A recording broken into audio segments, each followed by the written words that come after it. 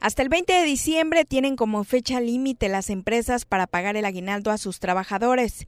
Esto como parte del derecho establecido en el artículo 87 de la Ley Federal del Trabajo, el cual señala que los trabajadores tendrán derecho a un aguinaldo anual que deberá pagarse antes de la fecha antes mencionada, equivalente a 15 días de salario por lo menos.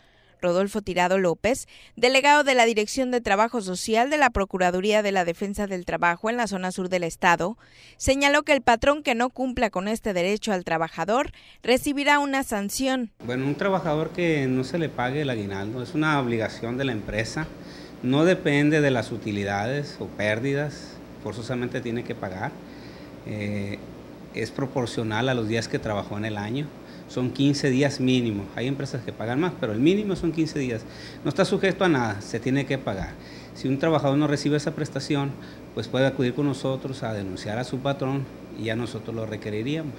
Si paga antes del día 19, pues es obvio que, que, no lleva infracción, pero si paga posteriormente al día 19 lo podemos multar. Va a depender de la gravedad de la conducta, de la cantidad que se le deba a los trabajadores y va a depender también de, del número de trabajadores que, que tenga, a los cuales no le pagó y de la capacidad económica de la empresa. Varía, todos esos factores se van a tomar en cuenta para calcular la multa. La oficina de la Procuraduría de la Defensa del Trabajo, ubicada en el fraccionamiento Tellerías, está laborando de 8 de la mañana a 3 de la tarde de lunes a viernes para asesorar a los trabajadores que presenten problemas de liquidación y pagos de aguinaldos.